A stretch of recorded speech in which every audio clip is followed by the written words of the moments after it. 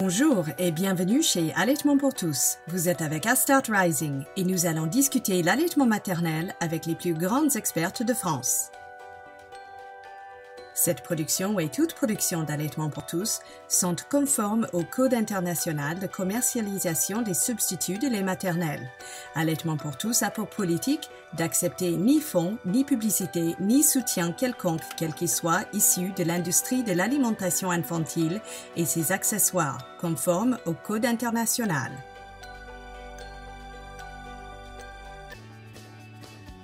Bonjour à toutes et à tous. Aujourd'hui, nous allons discuter l'allaitement maternel avec une femme merveilleuse, carrément un SOS consultation allaitement. Lisiane Faure est consultante en lactation issue du milieu des professionnels de santé. Elle est maman de deux enfants, aujourd'hui grands, travaillant à l'étranger, et elle est également sage-femme. Elle a travaillé 10 ans à l'hôpital pour faire des accouchements, puis 32 ans en PMI en région parisienne, dans le 93, le Seine-Saint-Denis. Maintenant, à la retraite, elle est installée en tant que sage-femme libérale. Elle est consultante en lactation diplômée IBCLC depuis 15 ans et formatrice pour plusieurs organismes autour de l'allaitement. Elle fait de la préparation à l'allaitement, des consultations individuelles et elle anime des réunions de mamans. Elle fait partie du CA de la COFAM, ce qui veut dire Coordination française pour l'allaitement maternel, et de la AFCL, ce qui veut dire l'Association française des consultantes en lactation. Vous pouvez la trouver dans l'annuaire des consultantes en lactation AFCL. Elle s'appelle Lisiane Faure.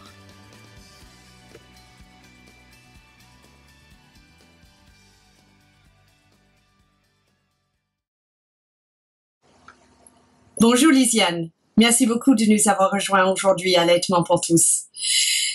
As-tu un intérêt ou des intérêts dans des organismes de vente de substituts de lait maternel?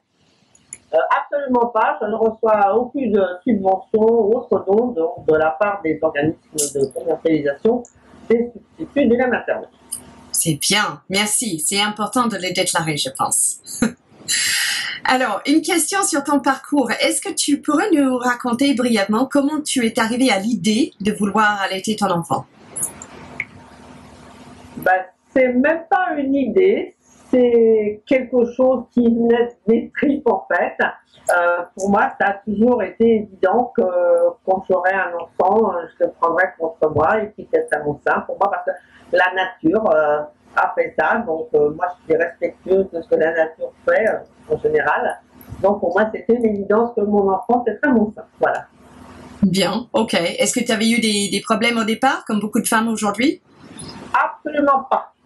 Oh, quelle chance je ne sais pas comment j'ai fait, mais en plus, en 1978, quand j'ai accouché, euh, on n'apprenait rien. J'ai ah fait euh, au pif et ça s'est bien passé. Mais est-ce que tu étais déjà sage-femme au moment, au moment où tu avais accouché? Oui, j'étais sage-femme, mais à cette époque-là, on ne comprenait pas grand-chose, on n'apprenait rien en fait. Enfin, honnêtement. Donc, euh, c'est pas, c'était comme ça. Il n'y avait pas de formation pour les sages-femmes? Non, alors là, tu sais, c'est quand même, c'est loin, ça fait 42 ans, je ne me souviens plus. Pas si on devrait nous parler des, des biberons, surtout, à mon avis. des biberons Peut-être des biberons de lait maternel? Non, non, pas, non, pas Ah, uh Est-ce qu'on, parce que je sais que tout le monde sait qu'aujourd'hui, dans les 7 ans d'études médecine, de médecine, euh, même pour les pédiatres et obstétriciens, il y a zéro information, zéro formation, zéro cours euh, sur euh, le lait maternel, ni sur le déroulement de l'allaitement même, ni sur, sur le comment l'assurer. Et les pédiatres aujourd'hui, la seule euh, information qu'ils ont concernant l'alimentation des, des nouveau-nés, c'est une journée Nestlé offert euh, pour lesquels il y a un crédit obligatoire. Donc zéro sur l'allaitement. En revanche, euh, une journée sur euh, l'alimentation artificielle euh, des bébés. Est-ce qu'à l'époque il y avait quelque chose de similaire en 78 où il parlait peut-être de, je sais pas, l'allaitement c'est mieux, mais non, même pas. Dans l'hôpital où j'étais en formation, les enfants ils n'étaient pas avec leur mère, ils étaient par par six dans une nurserie fermée avec une auxiliaire de culture. Euh, les mères n'avaient pas le droit euh, d'y rentrer. Ah bon? Très très propre, très hygiénique. Et puis, euh, toutes les trois heures, on les amenait à leur mère. Alors, soit ils prenaient le biberon, soit ils prenaient le sein. Un quart d'heure après ou demi-heure après, on, les, on revenait les chercher. S'ils n'avaient pas fait ça, bah, tant pis pour eux, il fallait qu'ils attendent encore les trois prochaines heures. Voilà. Donc, c'était comme ça à cette époque-là. hein. Tu vois ce qu'on apprenait? Donc, si les bébés mangeaient toutes les trois heures ou pas, euh, Ouais. c'était Ah. les... S'ils avaient faim, je suppose que l'auxiliaire de l'agriculture devait leur donner un biberon entre-temps dans la nurserie. Quoi. Ah, mais pas la mère. Donc, la mère n'avait, elle était, elle avait rien à faire avec le- les soins euh, Ah, et alimentation. Dans sa chambre, et toutes les trois heures, on lui apportait le bébé. Au bout de un quart d'heure, on lui enlevait. Et c'était comme ça toute la journée. Voilà. Mais c'est impensable. Ah oui. Et ça a duré comme ça longtemps, parce que j'ai vu d'autres euh, étudiantes euh, sages-femmes par la suite, pendant plusieurs années, elles m'ont dit que c'était encore comme ça. Donc ça a changé il n'y a pas longtemps. Il y a pas très longtemps. Tout est vrai. C'est, euh, c'est inadmissible. Est-ce, que des mamans ont jamais rouspété ou, ou se plaignaient ou insisté que c'était leur bébé, ils avaient le droit de l'avoir s'ils voulaient, si elles voulaient? À l'époque, tout le monde trouvait ça normal. On se disait si l'hôpital faisait ça, c'est que c'était bien pour les bébés, qu'il fallait qu'ils soient tranquilles, dans une pièce fermée. et puis voilà. Ok, Personne ne sait jamais ça. c'est impardonnable. Et, et qui a mis en place ces règles? Je suppose que c'était le directeur de l'hôpital. C'était certainement pas les sages-femmes, certainement pas si elle est déjà maman. Non, je pense que ça devait être le, je sais pas, chef de service de la maternité, euh, le protocole, tout ça. Ok, et ça, ça faisait partie de leur formation, je suppose. Je sais pas. De toute façon, le chef de service, il était déjà très vieux. Donc, euh, Ok, donc ça datait peut-être des années 30 ou 40. voilà. Alors, nous, la génération euh, issue de, des années 60, euh, 50, 70, euh, à partir du moment où les accouchements sont devenus sous contrôle médical, euh, il faut comprendre qu'on soit un peu folle, un peu euh, euh, neurologiquement euh, atteinte. il- il faut avoir patience avec ma génération. ah, les pauvres bébés, les pauvres mamans.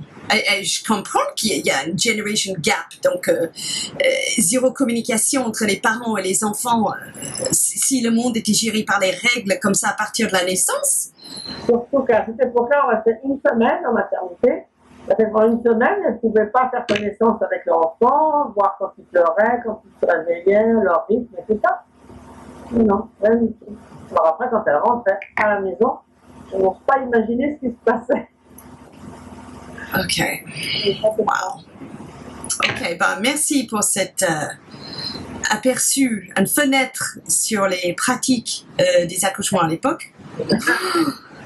Euh, comment es-tu arrivé dans le soutien ou la formation des mamans pour l'allègement maternel? Je- essayé de donner les quelques informations que j'avais. Et puis, il s'est trouvé que mon employeur a, proposé euh, des formations d'allaitement. Et puis, je, bon, bah, j'en- ai profité. Me suis précipitée dessus. Et voilà, donc j'ai fait euh, trois jours euh, de. deux fois trois jours avec euh, avec puis après, j'ai commencé à mettre en pratique auprès des mamans. Et puis après, j'ai vu que je ne connaissais pas grand-chose en fait. Et puis après, j'ai voulu aller plus loin. Et c'est comme ça que je suis devenue consultante en lactation. Voilà. Ok, donc ton employeur c'était quoi L'hôpital? Non, c'était le conseil général de la Seine-Saint-Denis. Ah ah, conseil général de Seine-Saint-Denis. Oui. Ok, super. Et ils ont proposé cette formation en allaitement qui était assurée par qui? Et bien par euh, Laure Marchand-Lucas et Léa Cohen, c'était euh, LLL. La Leche League. Ok, donc euh, loin de Nestlé, Galia, tous ces Ouais. soi-disant euh, formations euh, d'allaitement par Nestlé, Galia. Ok, donc c'était quelque chose de sérieux. Ah c'était un excellent conseil général à l'époque alors. C'est encore. Ils proposent encore des formations Ouais. Ouh, c'est bien, c'est bien. Ils font des consultantes en lactation directement. Ok, mais quand le conseil général propose ces formations avec la Leche League, est-ce que cette proposition euh, s'applique aussi aux pédiatres ou c'est uniquement aux sages-femmes? Non, mais maintenant, il n'y a plus de formation de la laiterie. À l'époque, Ah. il n'y avait pas de- d'examen de consultante en lactation en France. Oui. Donc, on avait fait ça. Maintenant, ils proposent des formations de consultante en lactation, mais c'est aux sages-femmes parce qu'il y a quelques qui ont un emploi du temps compatible. Et puis, euh, par contre, il y a des formations pour tout le personnel des PMI qui s'adressent à tout le monde, aux pédiatres, aux psychologues, aux médecins d'agriculture, aux aux psychologues, etc., etc., à tout le monde, aux sages-femmes. Ok, mais qui n'est pas la même formation que celui qui est proposé aux sages-femmes, consultante en lactation. Non, parce que ça, c'est une formation générale pour la PMI qui est faite par les consultantes en lactation du Conseil général. Ok, d'accord. Ok, donc c'est une formation générale. Et pour avoir une formation de consultante en lactation, euh, est-ce que c'est ouvert aussi aux pédiatres? Mais les pédiatres ne peuvent pas. Les pédiatres ne peuvent pas parce que les pédiatres ont des consultations Mhm. euh, à jour fixe et ils ne peuvent pas faire autre chose et ils doivent euh, assurer un certain nombre de consultations par euh, vacation, si tu veux. Donc, euh, ne peuvent pas en même temps faire de- des consultations. Ok. Ok, donc si jamais un pédiatre euh, disait mais je veux une formation en allègement maternel, euh, il pourrait, s'il s'arrangeait pour les heures, pour assurer les heures, théoriquement, hypothétiquement, mais physiquement ne peut pas, c'est ça? Bah, ils ne pourraient pas parce que les consultations, ça dure un quart d'heure. Hein. Les consultations d'allaitement, ça dure une heure et demie. Donc, ils ne pourraient pas faire des consultations d'allaitement sur son temps de travail. Ouais, c'est sûr. Ok. Donc le moment de se former en tant que pédiatre, ça serait pendant les sept ans d'études médi- de médecine, à un moment ou un autre dans les sept ans d'études de médecine. Ou après, quand ils sont pédiatres à libéraux, après, ils font euh, ce qu'ils veulent comme formation. Ou après, ouais. En tant que libéral, ouais. Bien sûr, mais il y a certains pédiatres qui sont consultants en lactation. Ouais. Ah, t'en connais? Ben oui. Ok, moi je ne connais pas. Oh, non, non, non, excuse-moi, je me, je, je dis un mensonge. Je connais deux, mais un est très loin de Paris et un autre, euh, un autre est à Paris. Euh, Non, non, elle n'est pas pédiatre, elle est généraliste, excuse-moi. Non, non, je connais un pédiatre, donc un pédiatre qui est, euh, qui est consultante en lactation. Mais tu connais plusieurs alors? Vous connaissez? Ah, bien. Bien. Ok, super. En hôpital En hôpital? Oui, oui. Ouais, en hôpital. En pédiatrie. En réa, il y en a. Ouais. Wow, ok. Euh, Le pédiatre de la réa, il y en a. Elle est consultante en où ça, pardon? À Valenciennes. Valenciennes. Ah, c'est bien à savoir. Et dans quels autres hôpitaux? Est-ce qu'il y a des pédiatres consultants en lactation Montpellier. Euh, il y en a un à, à une plutôt. Euh, il y en a une à, ah ben, à Marpillot aussi, bien sûr, à Tourcoing. Ah où?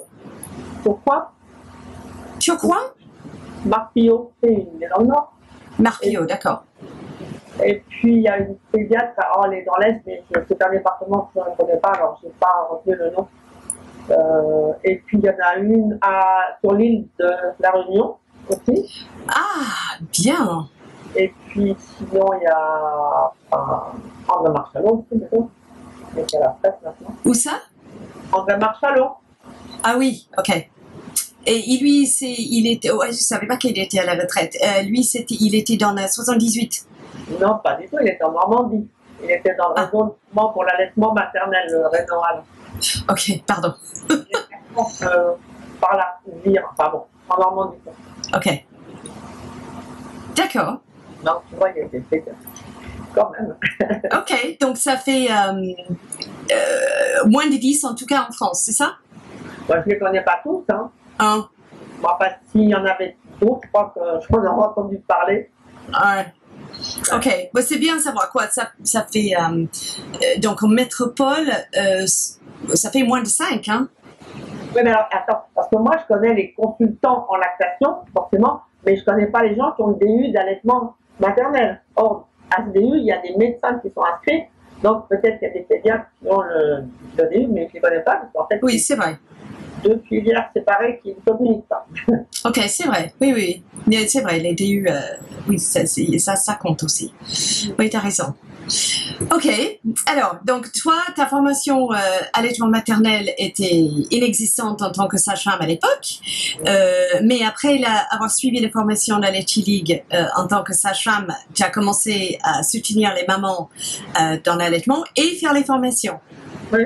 Et où est-ce que tu faisais des formations alors? Nous, en fait, c'est au professionnel de santé, puisque le Conseil général avait mis en place une formation de toutes les PMI sur 10 ans. Et donc, euh, j'ai formé euh, la moitié des, PMI de Seine-Saint-Denis. Je suis intervenue aussi à l'assistance publique au de Paris pour, euh, dans le cadre de la formation continue des professionnels de santé. Je travaille aussi deux formations CNSPT pour des auxiliaires de puis j'ai été pendant trois ans formatrice à l'effort maternelle formation. Maintenant, pour l'instant, je ne suis plus formatrice. Je suis, à la retraite du conseil général. Et puis, bon, je ne sais pas, peut-être que je vais reprendre. Je verrai. pour l'instant, je suis jeune retraitée, si on peut dire. Donc, euh, j'attends de voir comment ça va se passer. Ok, excellent. Euh, euh, donc, qu'est-ce que tu fais exactement dans le milieu de l'allaitement? Tu fais des formations aux professionnels de santé et les mamans. Ouais. Euh, ou disons, tu faisais. Et donc, pour les mamans, est-ce que tu faisais des visites à domicile ou tu faisais des formations en groupe comme ça dans les PMI Alors, je faisais et je fais encore des visites à domicile. Uh donc. Et euh, puisque là, donc, je suis à la fin du conseil général, mais je viens de m'installer en tant que sage-femme libérale, mais spécialisée en allaitement, donc je ne m'occupe que d'allaitement de la préparation à l'allaitement et des visites d'allaitement. Et quand je travaillais à la PMI, j'animais des réunions de mamans qui allaitaient. Ok. Et combien de mamans venaient dans ces réunions à peu près? Alors ça dépendait. Dans la première ville où j'ai travaillé, il y en avait une dizaine à chaque fois. Dans la deuxième, il y en avait cinq plutôt. Donc c'était une ville toute petite. Ok, et, est-ce qu'il y avait euh, une réunion par semaine, une par mois, une toutes les trois semaines? Dans la première ville où je travaillais, il y avait une réunion, euh, j'avais fait par mois. Après, fait tous les 15 jours. Et après, je crois que j'ai fait les semaines, même. Parce que sinon, il y avait trop de monde. Ah oui Et puis, dans la deuxième ville où je travaillais, je faisais tous les 15 jours. Ok. Mm. Ah, toutes les semaines Et est-ce qu'il y avait entre 5 et 10 mamans toutes les semaines? Oui. Ah. Est-ce que tu as accepté plus que 10 je ne pouvais pas ne pas accepter. ah oui? C'est pour ça que je faisais toutes les semaines, parce qu'au-delà de 10, je ne pouvais plus euh, écouter tout le monde. Ok, ah oui. Elle parlait tout, tout ensemble, c'était plus une réunion. oui. Ok, donc c'était vraiment une réunion avec échange d'informations et expériences alors Comme à la Leche League. en fait, parce que je, je suis allée pendant un an, j'ai j'ai suivi une formatrice de la Leche qui animait des réunions. Et après, quand j'animais mes propres réunions, je faisais la même chose, parce que je trouvais que c'était logique. Les mamans, elles se présentaient. Moi, ah, par rapport à la Leche l'avantage, c'est moi, je, connaissais toutes les mamans, parce que c'est des mamans que j'avais suivies généralement pendant la grossesse. Donc, elles disaient, euh, ben, elles parlaient de leurs problèmes, elles posaient leurs questions. Et comme je savais celles qui avaient eu les mêmes problèmes, je leur demandais de répondre pour euh, faire bénéficier les autres de leur expérience. Si personne n'avait de réponse, je répondais. Mais sinon, je n'intervenais pas. Donc voilà. Passer la, la parole à tout le monde. ah, je vois. Donc tes réunions, elles sont devenues très populaires. Oui. Super. Est-ce que, est que tu sais si tous les PMI font ce genre de réunions allaitement Il y a très peu de PMI parce que pour des réunions, enfin, généralement, c'est animé par des sages-femmes et des femmes de agricultrices, mais faut que ce soit des, personnes qui étaient formées, donc il n'y en a pas beaucoup. Alors, les consultants en lactation en font, évidemment, mais c'est tout. Et en fait, il n'y en a pas beaucoup de consultants en donc il n'y a pas beaucoup de réunions à OK, donc pour les quelques réunions d'allaitement dans les PMI qui existent, il se peut que la personne qui mène la réunion n'a pas de formation en allaitement ou a peu de formation en allaitement. Euh, S'ils n'ont pas de formation en allaitement, ça ne peut pas durer. ça ne peut pas durer parce que si elles n'ont pas des réponses à donner aux mamans, les mamans de, de, venir. C'est logique. Pas évident d'animer une réunion. Je pense pas que des gens qui n'aient pas de formation se lancent comme ça parce que c'est stressant quand même. On est face à un groupe, il faut savoir parler, il faut être à l'aise, il faut écouter aussi et il faut voir les réponses aux questions des mamans. Donc si tu ne les as pas, je ne vois pas comment tu peux mener ça. Ça me, ça paraît pas possible. D'ailleurs, il y a plusieurs personnes qui avaient essayé de mettre en place des, réunions, puis ça s'est arrêté faute de participantes. Ah, faute de participantes, d'accord je, je, je, connais une maman qui m'avait dit qu'elle avait assisté à la réunion d'allaitement dans la maternité où elle allait accoucher. Mm-hmm. Euh, la personne qui menait la réunion était une jeune sage-femme. Et une des premières choses qu'elle avait dit, c'était euh, est-ce que l'allaitement maternel est vraiment mieux que le lait artificiel? Je ne suis pas convaincue. Je ne sais pas vraiment. Bah oui, évidemment. Mais par contre, là, c'est pas dans ces pays c'est évident que, il y a des mamans qui m'ont parlé de la préparation à l'allaitement qu'elles ont fait dans leur maternité. C'était une horreur, évidemment. Mais bon. Ok. Donc, ça. ça, ça enfin... Réunion. En fait, Pardon? C'est pas des réunions, c'est des séances de préparation à l'accouchement dans des maternités dans la maternité dont la, maman parlait, c'était une réunion allaitement, vraiment sur l'allaitement. Tout le monde allait pour, pensant qu'ils allaient avoir euh, des informations sur l'allaitement. Et ça avait commencé comme ça. Parce que moi, j'ai entendu aussi euh, une maman qui m'a dit ça, qu'elle était allée à une réunion et que la sage-femme avait dit Vous voulez allaiter? Bah, Alors il ne faudra pas venir vous plaindre après si vous avez mal. C'est sûr. Et, il y a longtemps, je me rappelle, les mamans disaient que tout de suite après avoir accouché, la, sage-femme ou une sage-femme vienne demander si tout va bien. Et quand elle disait euh, ça fait très mal, la réponse était il faut souffrir pour allaiter. ok. Et les sages-femmes ont une formation allaitement euh, lors de leur formation de sage-femme, n'est-ce pas? Alors, euh, elles ont une formation théorique, plus ou moins longue en fonction des, écoles euh, d'où elles sortent. Mais il paraît qu'il y a un nouveau programme maintenant pour euh, la formation d'allaitement des sages-femmes, mais je ne le connais pas. Le problème, c'est que euh, la pratique, elles l'apprennent dans les maternités. Et quand on sait ce qui se passe dans les maternités, ça fait un peu peur. En effet, ça fait peur. OK. Et euh, une, euh, j'ai eu une sage-femme qui faisait une, mémoire qui m'avait approché et euh, elle m'a dit que la formation en moyenne de sage-femme était d'environ 24 heures. Parce que ça se passe sur plusieurs jours et c'est quelques heures par jour. Alors, par contre, je ne savais pas que c'était théorique. Enfin, c'est ça doit être, enfin, bref, ça doit être dur d'apprendre tout euh, théoriquement. Tu, on peut pas aborder toutes les questions qui surviennent, qui surviennent non plus euh, dans la théorie. Non, et alors, sinon, on pourrait dire que ce serait bien que ta femme ait une formation pour être consultante en lactation, mais si, parce qu'il y a des hôpitaux où ça se fait. Mais alors, il faut changer euh, toute organisation des services, parce que si tu veux moi, je connais des, des sages-femmes consultantes en lactation dans des maternités où rien n'a été changé. Et elles ne peuvent même pas, elles n'ont même pas 5 minutes par jour pour s'occuper d'allaitement. Elles s'occupent que des dossiers, des sorties, carrés de santé, mm. des ordonnances et tout ça. Donc, elles sont très frustrées. Elles sont surmenées. oui, donc c'est pas la peine d'être consultante en lactation si tu peux même pas t'occuper d'allaitement dans la maternité où tu travailles. Mm. Mm. Euh, moi, je pense qu'il sera une bonne idée peut-être de faire une série de podcasts où les, les personnes, tout, tout le monde qui veulent, puissent écouter euh, le podcast, donc euh, étape, euh, étape 1, 2, 3, 4, 5, etc., euh, où les personnes qui souhaitent s'informer sur l'allaitement, si c'est une sage-femme ou un pédiatre ou autre, peut l'écouter pendant qu'ils conduisent ou pendant qu'ils sont dans le tram ou un métro ou au moins les informations de base, parce qu'il me semble que les informations, pas mal d'informations de base manquent encore. Ça intéresserait certaines personnes, mais pas la majorité. C'est vrai. Oui, pas la majorité. Oui, c'est les jeunes générations qui sont plus podcast que, que l'ancienne. Oui, c'est vrai. Oui, mais pas forcément plus intéressés par l'allaitement. Mhm. Et on entend certaines euh, collègues sages-femmes qui disent l'allaitement, moi, ça m'intéresse pas. Tu vois Ok, donc elles prennent leurs 24 heures de base et elles vont pas plus loin que ça.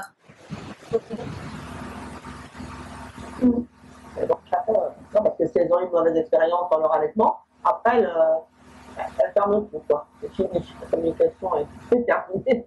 Ah, Ok, ah ouais, ouais. Wow. Ok. Non, C'est ça. Bon, le- Pardon? Non, j'ai dit comment on peut dire qu'on n'est pas intéressé par l'allaitement? C'est comme si tu disais quand tu es sage-femme, euh, moi je suis pas intéressée par l'hypertension, on n'est pas hypertendu, on ne sait pas.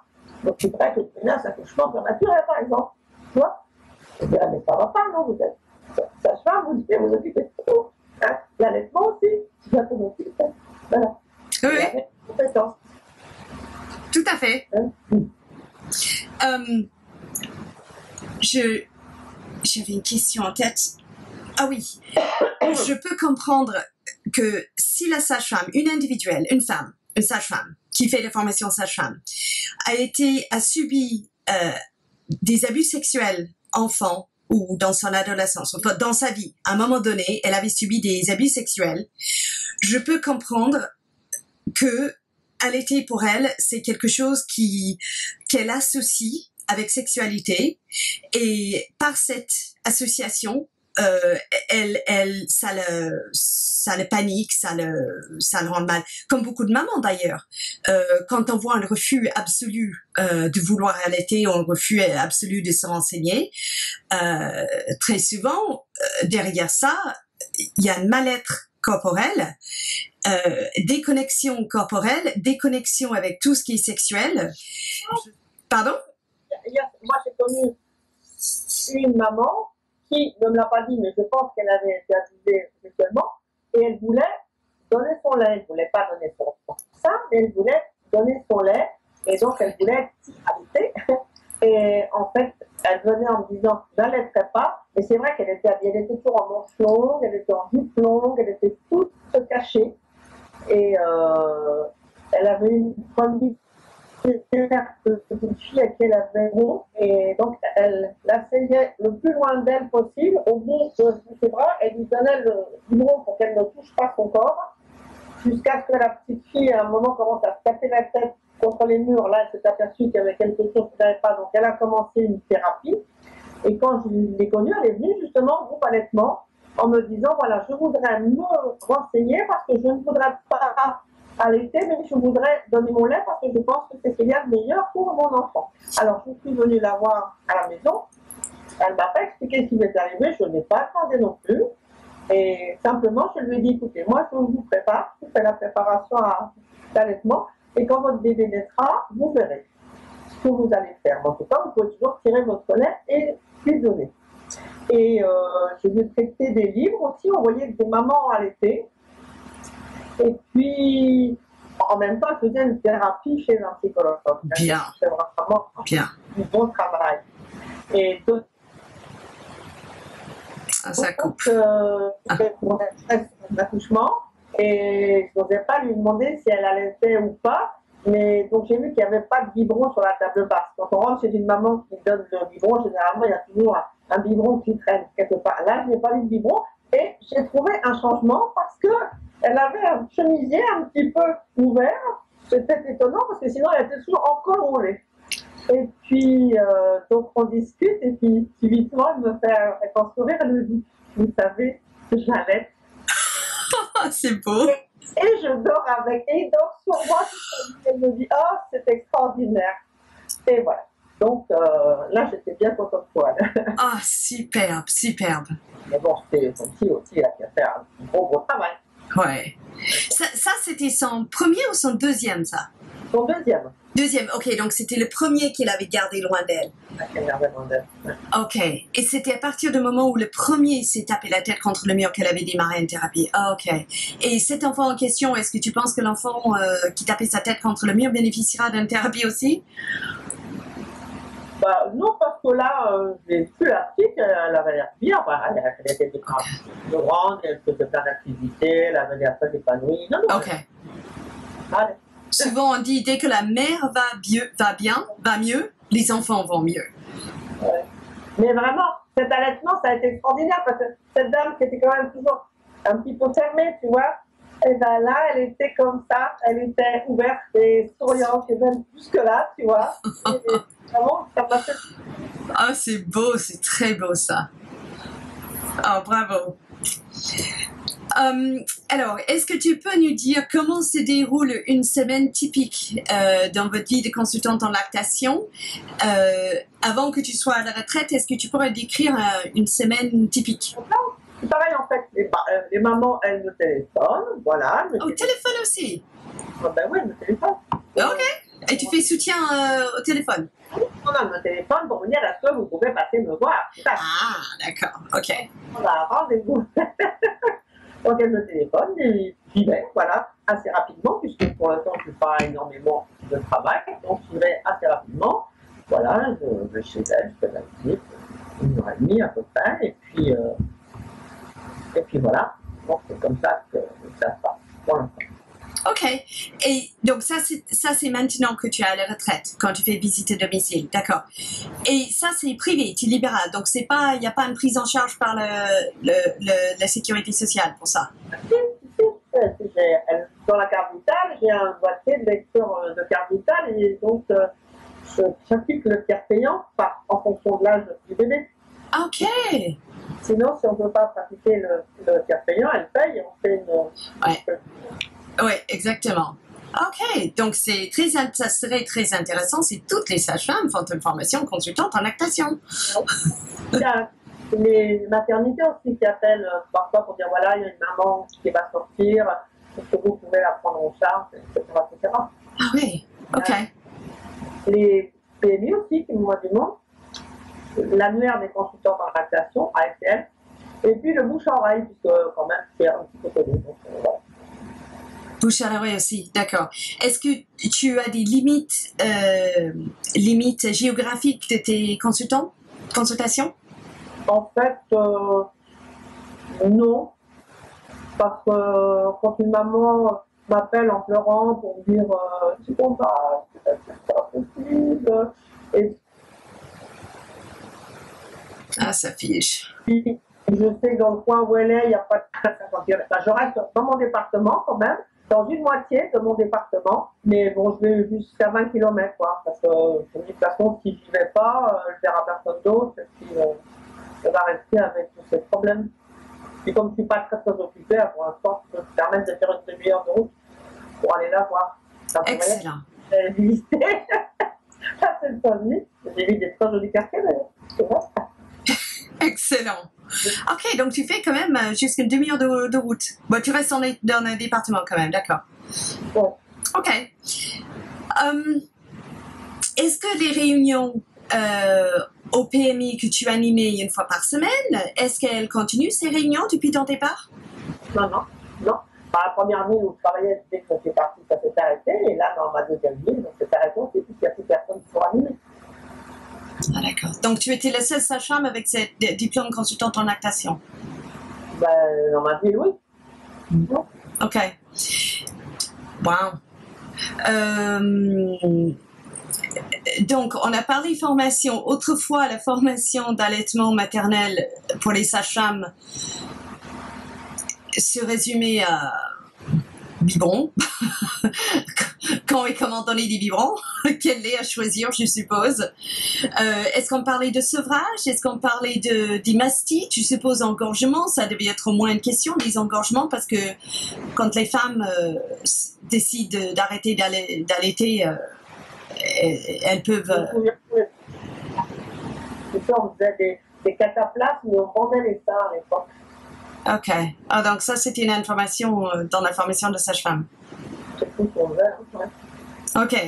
Et on leur disait qu'il fallait pas boire. Il fallait pas boire. en plein été, les pauvres femmes, elles n'avaient pas le droit de boire en plus. Jeez. Et, et, euh, dans- dans les années 70, le taux de, de péridurale était quoi à peu près? Bah, ça n'existait pas. On dit, voyons. Ah, Ça n'avait pas commencé encore? Non. Ok, mais ça a commencé quand alors, la péridurale? Bah, écoute, euh, moi j'ai accouché en 78 et ça faisait pas longtemps que ça existait. 76 peut-être. non Ah ouais. Alors, c'était pas très réussi. Hein. Enfin, c'est pour ça que moi, j'en ai pas voulu, parce que j'ai vu ce que ça donnait sur les patients. J'ai pas voulu trop m'en. Ah ouais. Et des fois, j'étais bien à droite et pas à gauche. Alors après, j'avais mal à la tête pendant une semaine, tout ça. Non, j'ai pas voulu tenter. Et puis, je voulais voir ce que ça donnait à un vrai accouchement euh, nature. nature. Ouais, ouais. Bon, tu- donc tu as accouché sans péridurale finalement. Ok. Et quand tu dis nature, ah, parce que tu veux dire que tu étais sur le dos. euh, C'était pas très nature, puisque j'ai eu tous les inconvénients de l'accouchement médicalisé sans péridurale. Donc, c'est pas vraiment un accouchement. Ouais, ok. Ouais, ouais, ouais. À l'époque où ma mère avait accouché, euh, donc moi c'était des années 60, et elle m'avait accouché dans les années 60. Moi, je suis née à la maison, donc sans péridurale évidemment, avec le médecin de famille. Euh, par contre, pour le deuxième, mon frère, donc 18 mois plus tard, euh, ma mère vivait à Vancouver avec mon père, et euh, donc le, le, le- les accouchements étaient déjà sous contrôle médical, euh, sans exception. À, à Londres encore, euh, dans les années 60, euh, on pouvait avoir le choix, euh, comme toujours euh, aujourd'hui d'ailleurs.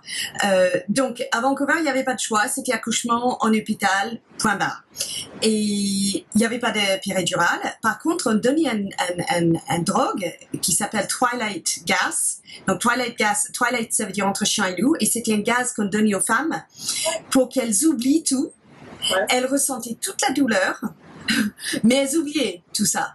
Et En, en France, on appelait ça euh, l'accouchement, euh, l'anesthésie à la reine. Oh, parce que c'est ce qu'on donné à la reine euh, Victoria ou je sais pas qui, euh, un gaz en fait. OK. Le problème, c'est que comme ces femmes ressentaient toutes les douleurs, elles étaient obligées d'accoucher sur le dos, qui est la pire des positions pour accoucher. Enfin, on est bien d'accord, je pense. Euh, elles ressentaient toutes les douleurs d'un accouchement pas normal parce que c'était ou pas naturel parce que c'était sur le dos. Et du coup étant un peu droguée complètement droguée elles se jetaient dans tous les sens elles se débattaient euh, en parlant des sandwichs au thon et euh, arriver euh, au train à l'heure et- etc et elles se faisaient mal. Donc parce qu'elles se faisaient mal dans cet état complètement drogué on mettait des camisoles de fou pour pas qu'elles se fassent mal et donc, ma mère m'a raconté que dans la maternité où elle avait accouché euh, mon, de- mon frère, euh, elle avait accouché dans une camisole, bien qu'elle avait refusé le gaz. Alors, Donc, elle n'a pas voulu le gaz, elle voulait rien du tout parce qu'elle voyait ce que ça donnait aux autres, comme toi, tu voyais ce que le péridurale faisait aux autres. Et euh, elle a dit, euh, je voulais pas déchirer mes, les muscles abdominales.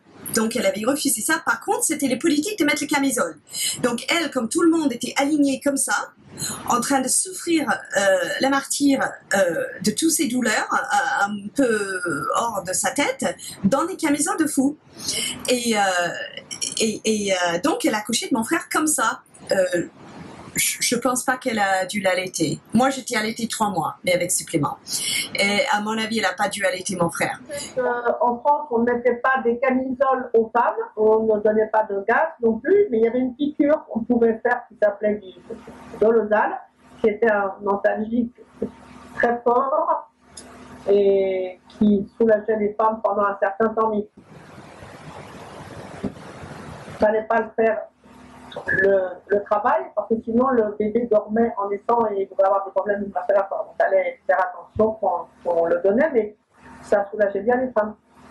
Ok, ça avait coupé pendant ta, ta réponse. Donc, pour récapituler, il y avait une piqûre qui s'appelait quoi? Dolosal, Dolosal. Et donc, ça soulageait les douleurs, mais endormait le bébé. voilà, c'est ça. Ah, ok. Ok, mais si le bébé est nourri au biberon, il risque de s'étouffer, c'est ça? Ouais. Et s'il est au sein, mais il ne tétera pas correctement? Surtout qu'il risquait aussi de ne pas respirer à la naissance. De ne pas quoi? Respirer. Ah, le bébé ne pouvait pas respirer. Il dormait et il ne respirait pas, oui, c'est ça. Ouh. Il fallait, il fallait le faire quand la dame était dilatée à 5 cm avant la naissance. Quoi. 5 cm. Donc il fallait bien, bien faire attention. Comment il fallait le faire assez tôt et après on ne peut plus en faire un autre. Donc quand la maman après elle avait mal encore, ben, on disait ben, madame, ça y est, vous avez mis votre dolosal, on ne peut pas vous en faire un autre. Après il fallait souffler. comme ça, le petit chien.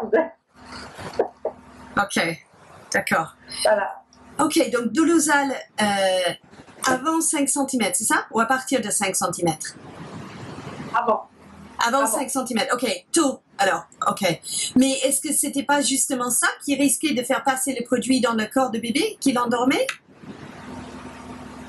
Bah, si, mais après, c'était éliminé. Donc, quand le bébé naissait, le produit, il est éliminé. Ok, élimination, le temps d'élimination, d'accord. Ok, je comprends. Ok, bah c'est pas aussi grave que les camisoles et le, et le gaz des fous, gaz, euh, euh, chi- entre chien et loup. Euh, Aujourd'hui, en moyenne, par, euh, disons par mois, tu es à la retraite depuis février, c'est ça? Mars, avril, mai, ça fait trois mois que tu es à la retraite. ça.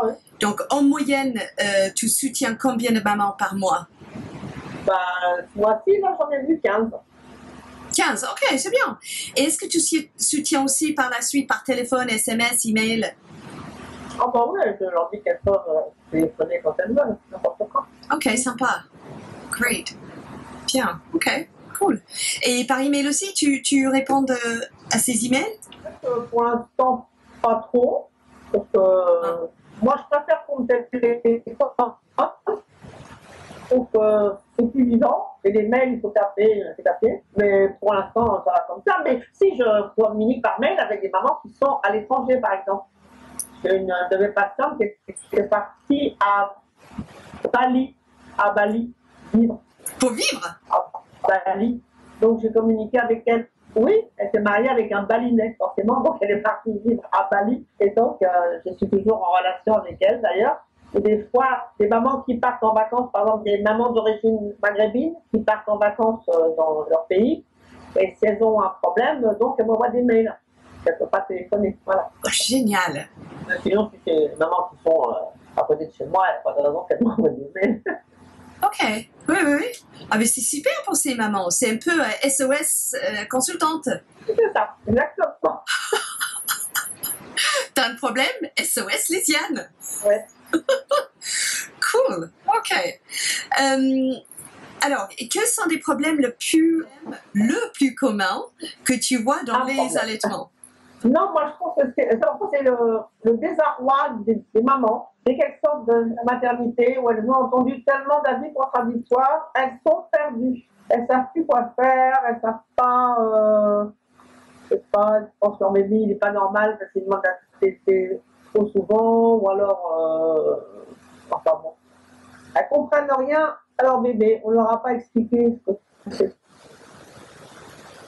qu'est un bébé et comment va grandir. Et donc, face à la réalité du vrai bébé, qui pleure, elles sont perdues. Et donc, elles pensent qu'elles se débrouillent mal, qu'il y a quelque chose qu'elles font qui n'est pas bien, forcément.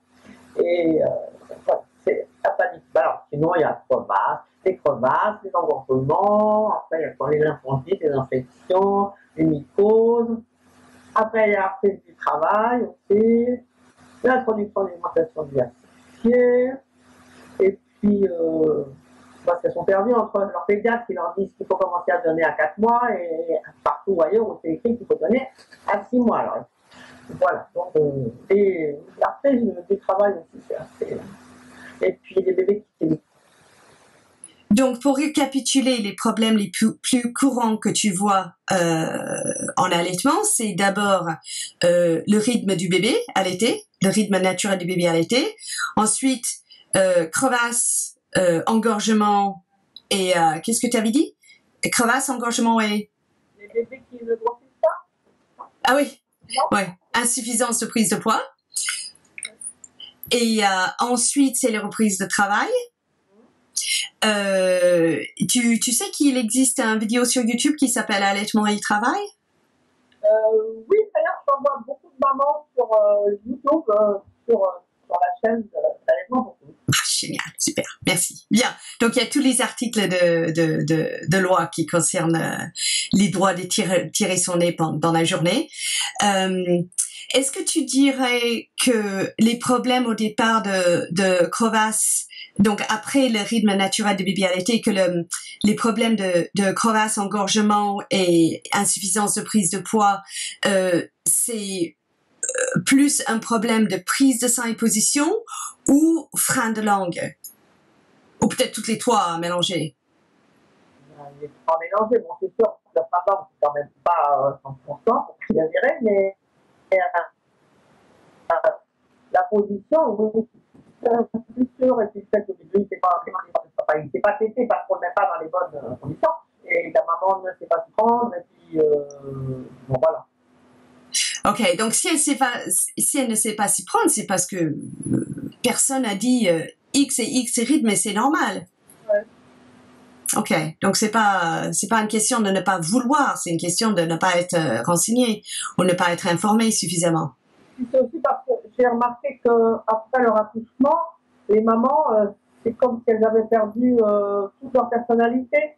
En fait, elles sont dans un état bizarre où elle se laisse complètement faire par le personne. Même, euh, exemple, si je leur ai dit, euh, si une personne vient et prend la tête de votre bébé, prend votre sein et appuie comme ça votre bébé contre le sein, surtout vous dites euh, non, non, non, je veux faire comme ça. Ben, il y a une maman, elle m'a dit qu'il y avait quelqu'un qui avait fait ça. Elle a dit, j'ai pensé à vous. Je lui ai dit, alors, qu'est-ce que vous avez fait? Eh bien, elle me dit rien, j'ai laissé faire. Voilà sachant que ça n'allait pas donner des bons résultats, mais elle a laissé, faire parce que après leur accouchement, elles sont en état de, faiblesse psychologique qui font qu'en fait, on peut leur faire n'importe quoi, elles disent amène à tout. C'est faux, hein. C'est pour ça que dans les préparations, j'aime bien voir les papas. Parce que les papas, eux, ils n'ont pas été enceintes, ils n'ont pas accouché, ils n'ont pas euh, les fusions, les hémorroïdes, les crevasses, l'engorgement, etc. Donc ils sont dans un état normal, ils n'ont pas de blues en plus. Donc eux, ils sont capables de. Je dis surtout si vous voyez que votre femme, elle se laisse faire, vous lui dites gentiment, chérie, tu te souviens de ce que tu voulais faire au départ, c'était pas ça du tout. Donc, essaie de reprends-toi, reprends-toi et voilà. Tiens tête, tiens tête, ne te laisse pas faire. Je trouve que c'est important de dire ça au papa. Excellente approche. Excellent. C'est vrai que quand on accouche, déjà, on est dans l'état le plus vulnérable de toute sa vie après la petite enfance. D'autre part, dans ce milieu médicalisé, on est cloué au lit et donc on est forcément dans une position de euh, de vulnérabilité, on est vulnérable. Euh, on, on a l'impression qu'on peut nous faire du mal et donc, il vaut mieux être d'accord, il vaut mieux euh, marcher avec ce qu'on dit. Oui, oui. Et puis, parce, aussi, par ce pouvoir moi j'ai connu une dame qui a des mouvements, dans les mouvements, euh, que les enfants s'épanouissent dans la motricité. Et elle m'a dit qu'on a, sa petite fille, elle euh, s'était mal, et donc il y a une personne qui l'a prise et qui lui a dit Alors, feignante, il faut que tu t'aides, et qui l'a secouée comme ça. J'ai dit Et alors, qu'est-ce que vous avez fait? Elle me dit Rien, j'ai rien fait. Parce que je pensais qu'elle savait ce qu'elle faisait. J'ai dit, mais elle, elle n'a pas de formation de. dans sa tête, elle se disait, c'est pas comme ça qu'il faut s'occuper des enfants. Mais elle a laissé faire, parce que puisque c'était du personnel hospitalier, elle pensait que le personnel savait ce qu'il faisait. J'ai dit, c'est vous la psychologienne, en l'occurrence, c'est vous là la spécialiste de, des mouvements. C'était pas cette personne-là. Mais j'ai des tas d'exemples de femmes, de femmes fortes, de femmes autoritaires, de femmes qui ne se laissent pas faire habituellement. Et là, elles sont comme des carpettes, en fait. Tu vois, elles se laissent faire complètement. Alors, je les, prépare à ça aussi. Je leur dis attention. Donc, il y a quelqu'un à côté de vous pour vous aider. Parce que seul, vous allez peut-être avoir du mal. Je, c'est vraiment le milieu, le fait qu'il y a quelqu'un qui arrive en uniforme, qui représente l'uniforme, représente un organisme, et vous êtes là pour, pour euh, euh, suivre euh, les conseils ou les indications, les instructions de cet organisme.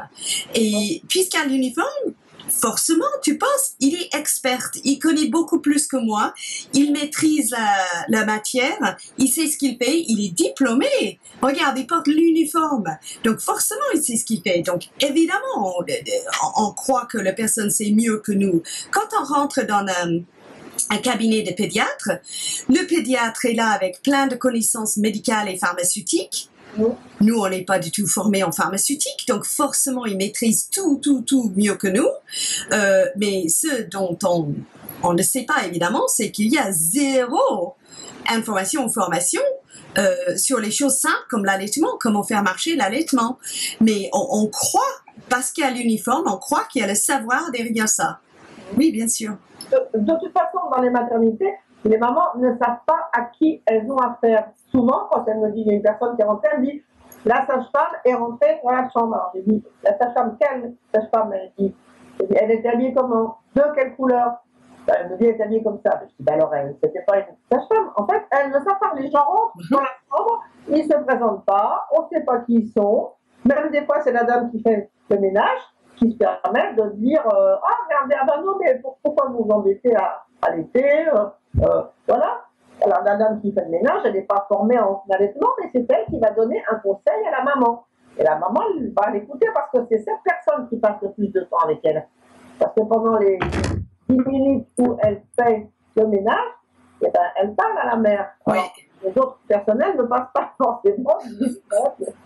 voilà. Je me rappelle quand euh, j'avais passé euh, plus d'une semaine euh, suite à ma, mon premier accouchement parce que c'était une césarienne et j'ai demandé à tout le monde qui rentrait, mais tout le monde, s'ils n'avaient pas les conseils d'allaitement qui marchaient.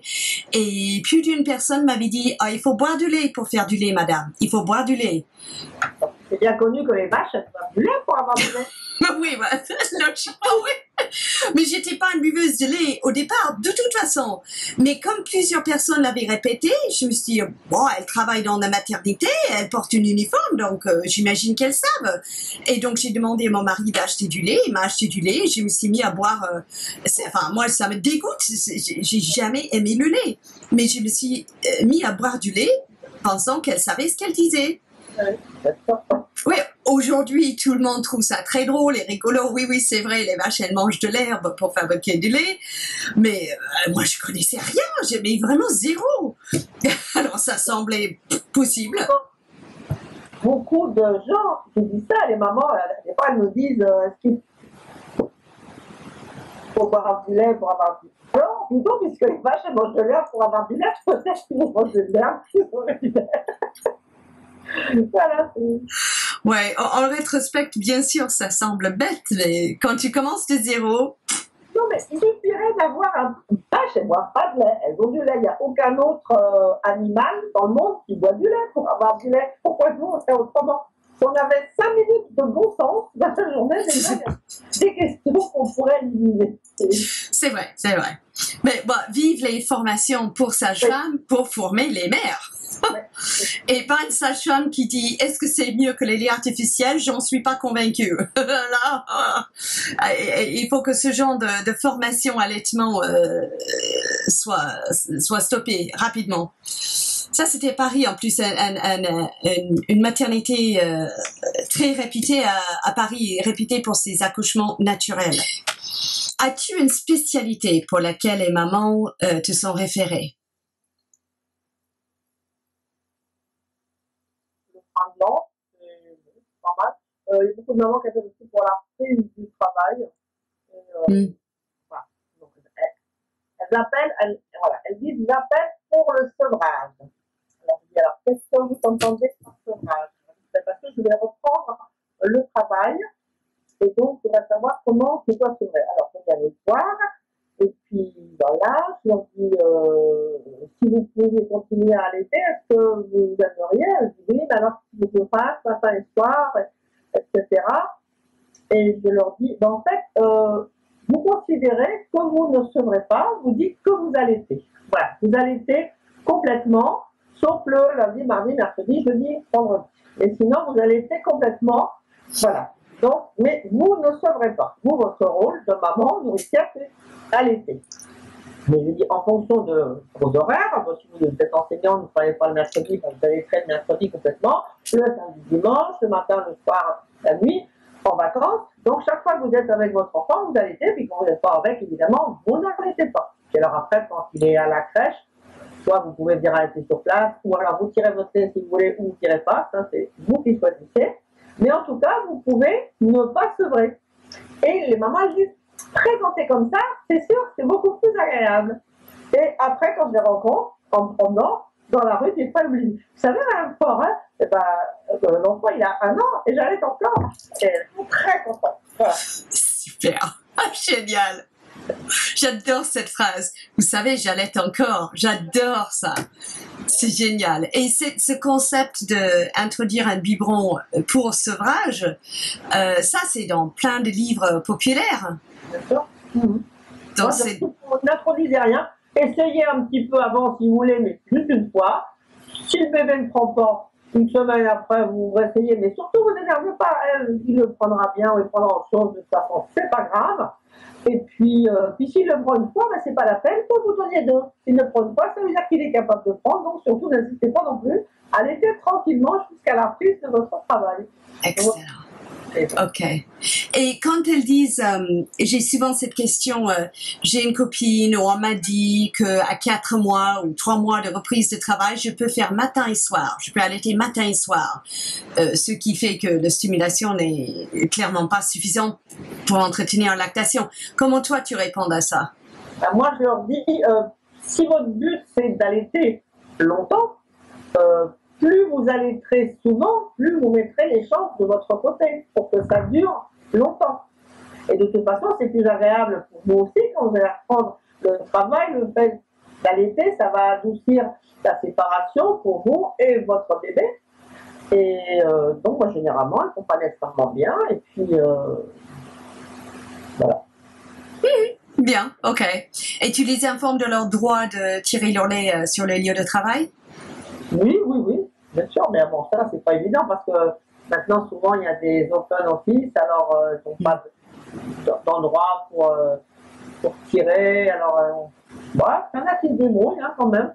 Il y a toujours des infirmeries? Bah, Il n'y a pas toujours une infirmerie. Hein. Mais ah bon, moi, j'en connais une, la, la secrétaire de son PDG lui a dit il n'est jamais là, donc t'as qu'à aller, aller tirer ton lait dans le bureau du directeur. Donc elle va tirer son lait dans le bureau du directeur. Excellent. C'est un peu marrant. Ah, super. si, si euh, je dis, si on vous fait des réflexions sur le temps que ça prend, vous, vous pourriez dire, oui, mais tous les gens qui fument quatre fois par jour, un quart d'heure, le temps qu'ils descendent, qui fument leur clope et qui remontent, ça fait bien un quart d'heure, si ce n'est plus quand même. Donc, s'ils fument quatre fois par jour, ça fait une heure. Donc, c'est exactement le temps de... Et eux, on ne leur dit rien. Donc, on ne voit pas pourquoi vous, on vous dirait quelque chose. Exactement. Je te raconte une belle anecdote. Une belle anecdote. J'avais, je soutenais une maman qui avait repris le travail à deux mois et demi, trois mois. Et euh, à l'époque, euh, ça date il y a, il y a dix ans à peu près à l'époque, c'était pas super connu ces lois concernant le droit de tirer son nez sur les lieux de travail.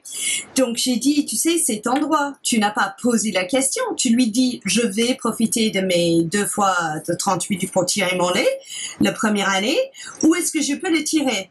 Mais elle, elle était étrangère, donc elle avait peur, elle avait une CDD, alors euh, elle avait peur. Donc elle est allée demander à l'employeur. Et tu sais ce que c'est? C'était sa réponse, c'était superbe. Il a dit, tu plaisantes, euh, je paye tous ces blips pour aller fumer leur clope quatre fois par jour. Et toi, tu veux prendre le même temps pour nourrir ton bébé avec ton lait mais bien sûr, absolument, il n'y a même pas de question. ah oui, oui, oui, oui, superbe. Et elle m'a dit qu'elle a pris euh, euh, donc les deux pauses 30 minutes, mais en même temps, sur sa pause déjeuner, elle lisait un magazine et elle avait une de ses brassières avec les, trous pour mettre les tirelets. Et donc le tirelet, tranquillement, tirait son nez pendant qu'elle lisait le magazine et mangeait son déjeuner. C'était super. Alors, euh, Est-ce que tu peux nous raconter un ou deux parcours d'allaitement qui t'ont particulièrement touché?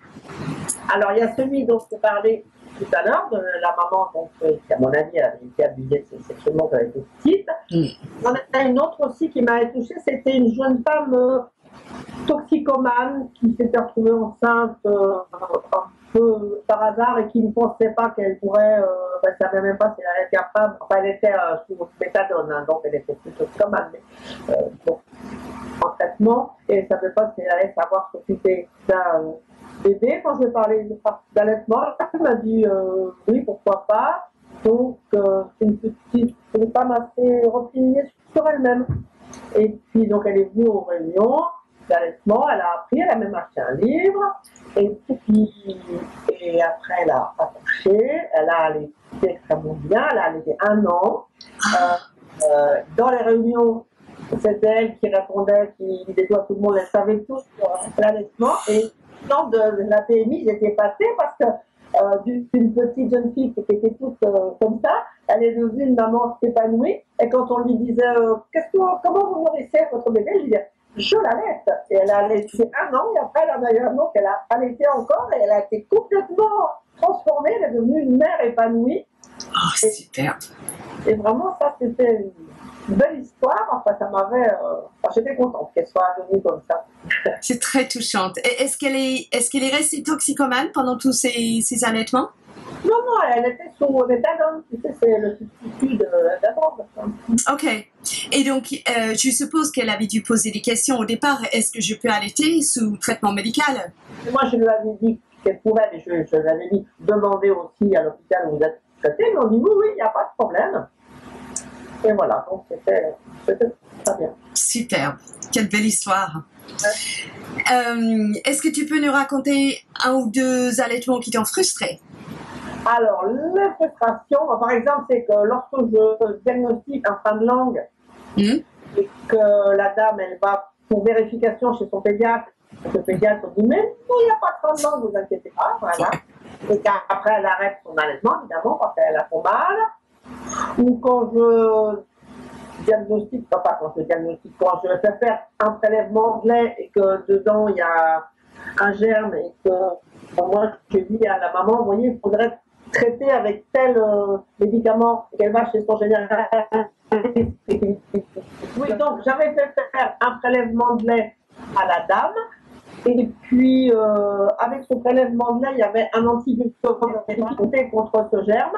Et euh, le médecin généraliste n'en a pas tenu compte et a donné ce qu'on donne, qui donne à tout le monde augmentin, qui n'était pas du tout efficace sur le germe. Donc, la maman, elle, elle pensait qu'elle était traitée et comme elle continue à avoir mal, elle a arrêté son allaitement, alors qu'en fait, elle n'avait pas été bien traitée, pas correctement traitée. Et voilà. Mais attends, je ne comprends pas.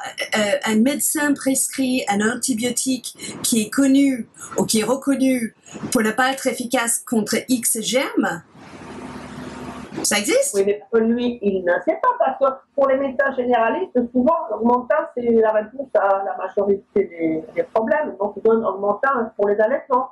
Alors qu'augmentin, c'est pas c'est très, très efficace, mais eux, ils ne le savent pas. Et c'est bête parce que quand il y a un antibiogramme avec le médicament euh, qu'il faut et qu'ils donnent autre chose, c'est énervant, surtout après quand la maman, euh, elle arrête son allaitement, mais en plus, elle arrête en étant persuadée qu'elle a c'est soigné. Et si ça continue à lui faire mal, c'est qu'il y a quelque chose qui ne va pas. C'est ce qu'on peut dire. C'est embêtant. Ah, ah, oui, ça c'est très embêtant. Très embêtant. Moi, moi je me rappelle, j'avais reçu une maman euh, en consultation. Euh, elle avait un bébé de un mois ou deux mois. Mhm. Et euh, elle, elle, ne mettait pas le bébé au sein parce que la maternité, on l'avait dit que le bébé avait un, une cloison trop étroite et que ouais et de de allaiter euh, leur empêcher de respirer correctement. Donc il fallait biberon voilà Par contre, elle tirait son nez et elle comptait vraiment, euh, elle, tenait vraiment à cette euh, tir allaitement.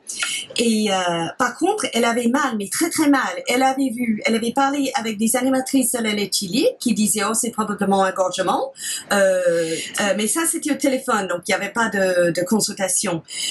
Ensuite, elle était allée voir deux médecins qui disaient mais vous avez un engorgement, tirez votre lait donc.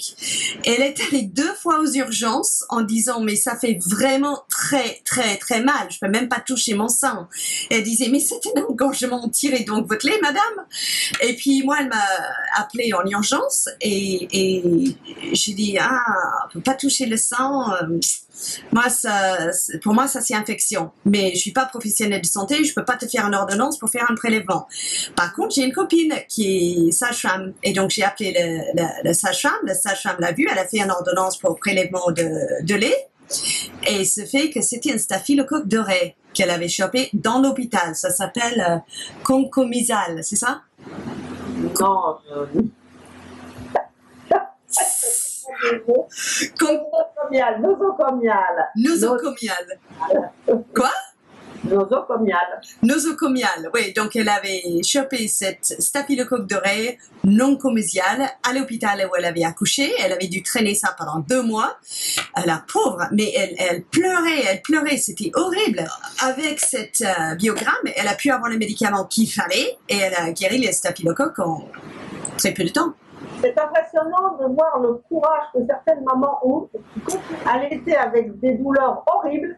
Et euh, ben moi, j'ai vu une euh, maman qui avait très mal. Elle allaitait, euh, vraiment, quand elle allaitait, elle pleurait, en voyait des grosses gouttes qui coulaient sur ses joues, mais elle ne, faisait pas de bruit pour ne pas déranger son enfant qui c'était. Et en fait, je regarde, superbe fin de langue. Et puis, ah.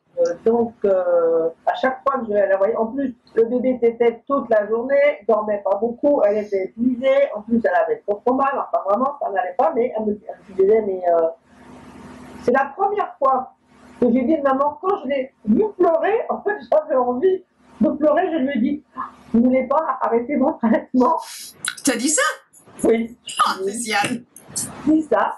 Et toujours, je me continue. Donc elle est allée chez l'ORL, qui a coupé. Et la fois d'après, quand j'y suis allée, elle m'a ouvert la porte avec son enfant sain, toute souriante, tout bien. Super, super. Puis, ah, bah, vous avez l'air bien. Elle m'a dit, j'ai plus mal, le bébé maintenant il tête, après il est rassasié, il dort. Je suis tranquille. Elle me dit d'ailleurs, je vais vous faire un café, parce qu'avant, je vous avais jamais offert un café. Cette fois-ci, je vais pouvoir vous offrir un café. Et voilà, elle était toute contente. Oh, génial. Euh, voilà. Superbe histoire. Elle pleurait, pleurait. Oh, c'était horrible de l'avoir. Ces grosses gouttes qui coulaient sur ses joues, ça faisait mal au cœur. Ouais, c'est terrible. Ok, bah bravo pour la maman d'avoir vraiment insisté sur ce, ce qu'elle voulait et, et euh, avoir trouvé quelqu'un euh, comme toi qui était capable de, de, de, vraiment trouver le problème et, et, et fournir une solution je, ça me rend très très triste quand j'entends les professionnels de santé qui disent certaines femmes ne peuvent pas allaiter. Ou tous les jours, je vois les problèmes pour lesquels il n'y a pas de solution. Donc, pour ces femmes-là, le biberon est une seule option. Alors, ils présument que puisque eux, ils ne connaissent pas les solutions, il n'y en a pas. Moi, je dis toujours, maman, en allaitement, comme dans la, la majorité des choses de la vie, il n'y a pas de problème qu'il n'y ait pas de solution. Donc, si vous avez un problème, ne demandez de l'aide. Ne restez pas comme ça. Téléphonez à des gens, cherchez sur Internet. D'ailleurs, bien souvent, elles le font. Il y a quand même un grand nombre qui ne demandent même pas d'aide parce qu'elles vont voir sur Internet, sur le site de NLL, et elles trouvent les solutions à leurs problèmes. Heureusement pour elles. Oui, oui, c'est vrai. C'est de plus en plus commun. Plus les mamans sont connectées, plus elles sont informées. Ouais.